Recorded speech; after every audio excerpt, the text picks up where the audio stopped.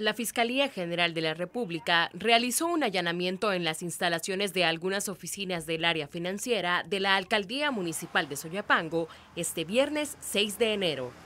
Se presume que el operativo realizado en la comuna forma parte de las investigaciones realizadas en busca de material probatorio contra la alcaldesa Nercy Montano, quien fue capturada el pasado 28 de diciembre. La edil de Nuevas Ideas es acusada por los delitos de malversación de fondos públicos, apropiación o retención de cuotas laborales e incumplimiento de deberes en perjuicio de la municipalidad y de los empleados. La autorización de allanamiento fue dada a eso de la una de la tarde del jueves 5 de enero y tendría una duración de 72 horas, es decir, finalizaría el domingo 8 a la una de la tarde, informó para la prensa gráfica.com Clarisa Ramos.